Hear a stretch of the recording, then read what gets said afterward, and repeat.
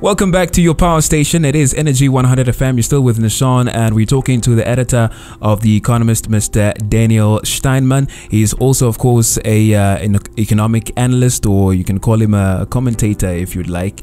Uh, let's quickly talk about uh, The Economist more in detail. You you you mentioned uh, that you've been part of uh, the publication for for for many years, and uh, you only went digital um, you know, like a, a, a, couple of years ago. I think five. You mentioned five years ago. Almost five. Almost five End years ago. End of 2016. ago. So, how has it changed? Because you did also mention that you used to to to do the traditional way, and now you've moved digital. How has the the transformation been since then between Sean, the two Very eras? interesting. Yeah. In a sense, it has changed 180 degrees. Yes. very, very dramatically, substantially. Uh-huh. Yes. And in a sense, Mm. it is still the old Economist. Mm. If you go to economist.com.na and you open it up there on your PC screen, the look and the feel is still the Mm. newspaper Economist. Mm. And then people ask me, but it looks so similar to what we what we used to on paper. And then I would always point out to them, Yeah. whether you publish on a piece of glass or whether Yeah. you publish on a piece of paper, it's irrelevant. yes. What is um, what is relevant, Relevant, in, yeah. in the modern information age Mm. is who do you reach? Mm. Where where does your message go? Yes. And that is very important. And if you go to economist.com.na, Mm. you will see that there are 27 different categories Mm. on on um, the homepage, Yeah. and you can you can go into any one of them for everything that has been published by the Economist for the past 18 years Mm. is now in the Economist every day. Mm. Plus all the new stuff that we put there Mm. every day. Mm. So it's sometimes difficult for people to get their minds around this whole thing that just by going in there, either on my telephone or on my PC, Yes. I see today's stuff, the latest news, Mm-hmm. and the because there are 27 different news categories, it's Yeah. not just economics, economics, economics. you know, you, you, you don't want to go "Wah, wah, wah, wah, wah." Yeah. because of it. It's a very broad spectrum of news coverage, Okay. but with a very um, perceptible, very strong bias Mm. for business, finances, and economics. Okay. But there's a little bit in there about community, and there's after hours, Mm. and um, there's technology, and Yeah. there's all, all sorts of uh, stuff that you would not think directly relates to the economy. But remember, everybody, all of us that, that work there, we are also just people. Yes. You know, we also go out at night. Yes. Uh, we also enjoy a, a bit of scandal. That's right. I mean, Namibia has produced enough scandal in the last two years. yeah. Uh, so um, we cater for the businessman Mm. and for the economist, Yeah. the the the, the professional economist, Mm. but in a holistic way. Okay. We, we provide information that he needs or that he wants, he or she wants to read and Mhm. wants to know. Mhm. But we realize that we are all human beings. Mm. Every one of us is a person that goes home at night Mm. and that wants to have a good time. Mm. You know, so we cater for that as well. Uh, let's now get into uh, some of the stories uh, that that you published as uh, the Economist. Uh, there are a lot of uh, stories going around. Obviously, uh, I mean, uh, I think I don't think that uh, the market or the economy is anything that. That goes to sleep. So share with us some of the stories that are currently trending right now, and what what what, what your take is on them as as an economic uh, economic uh, analyzer. What I specifically want to avoid is just to rehash a whole bunch of old information on COVID and on pandemics, and, and, and I think um, we are knocked out Mm. on, on COVID stuff. You know? Yes. Uh, I just I find myself I, I tend to switch off if I Mm. if I get bombarded by all this Mm. negative COVID stuff. Mm. So we are very aware of the need to anticipate the turn in the economy Mm. and to focus on positive elements. Yeah. But for this week, I specifically want to focus on something else, and, and it is not that positive, but I'll come back to it a little bit later why it should be.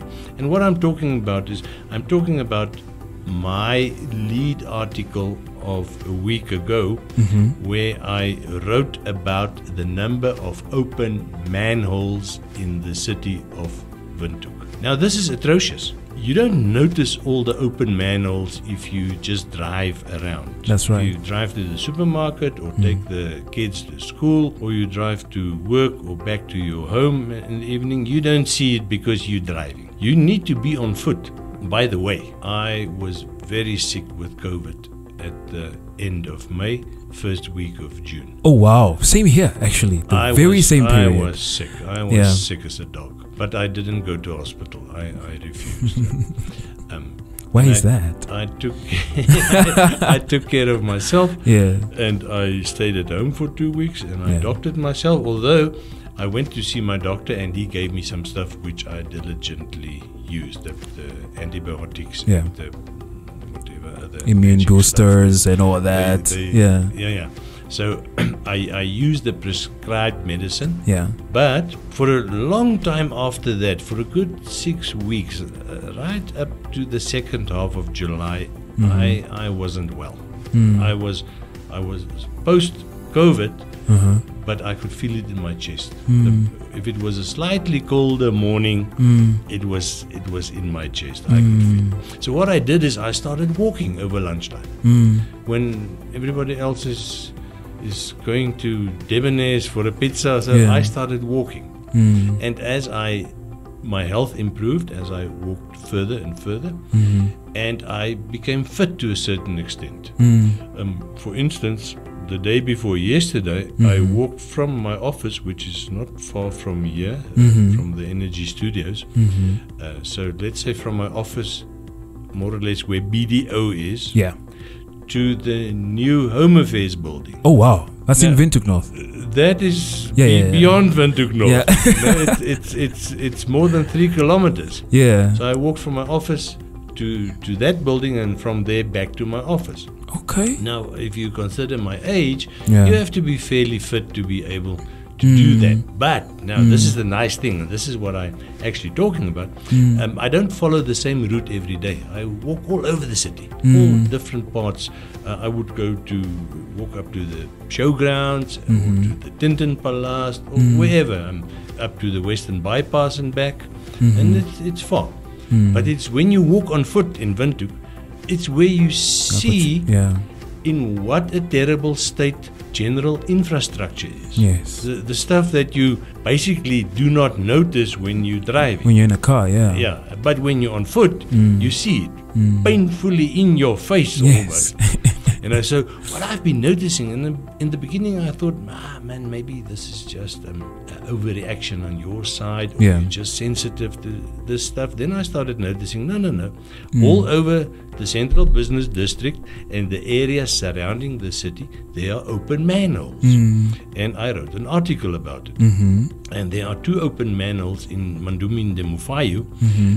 at that exit of the municipal parking garage next to Simon. And you must go check it out. There's actually a picture of these two open manholes. They're not very deep, about 900 millimeter, less than one meter. But there's all sorts of rubbish in there, including a dead cat. Oh wow. And that dead cat has been in there for the past three weeks. And I can imagine the smell. Mm. It is terrible. Mm. Now, and the reason why I wrote it is because last week in South Africa there was um, a court case came to conclusion that lingered on for seven years, Mm. and this was about a toddler drowning in a pit toilet, and that is wasn't an isolated case. Mm.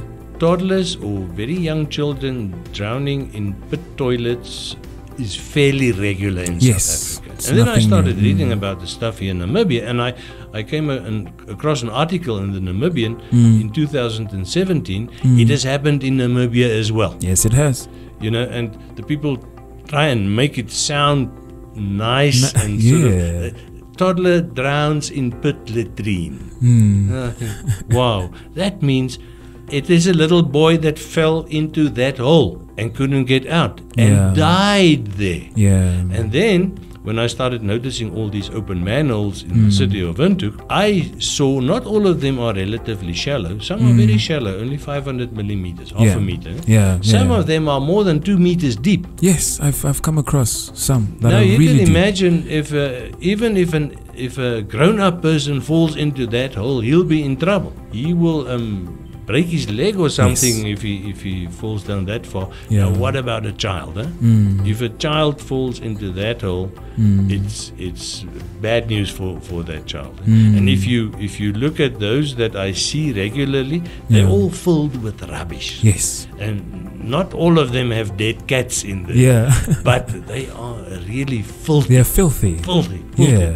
Now you imagine a child, a small child, huh? Mm. let's say not older than four or five years, Mm. falls into one of those, Mm. and he tries to get out, and he he's busy in all that that rubbish. Mm. He's going to get sick. Mm. And if it is a if it is a manhole Mm. for a sewerage system where there's water or sludge in, he can also drown can also drown.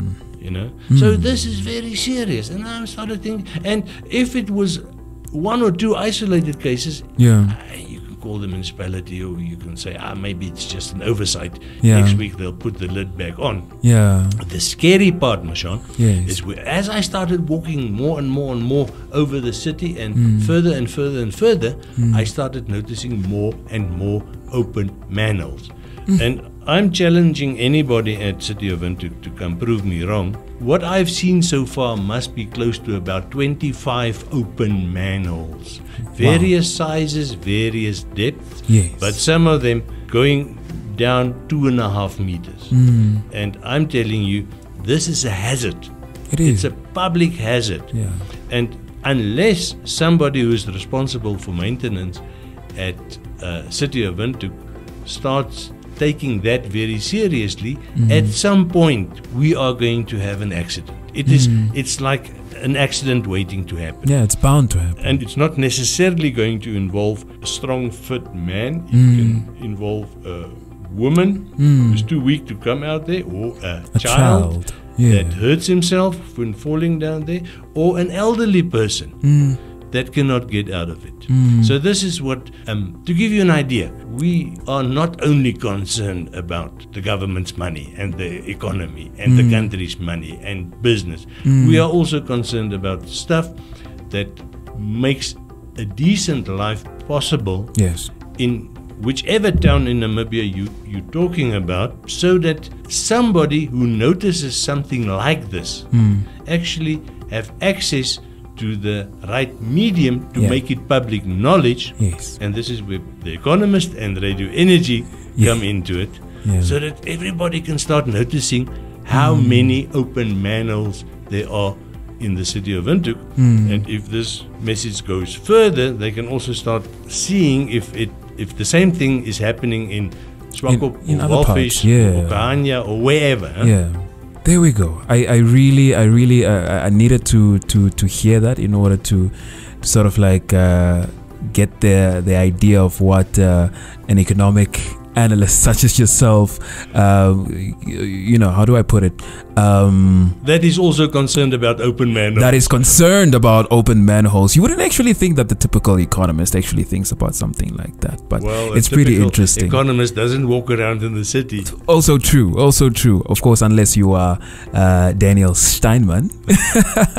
All right, awesome stuff. It is your power station, Energy 100 FM. We will be returning shortly just to close it off. Stick around.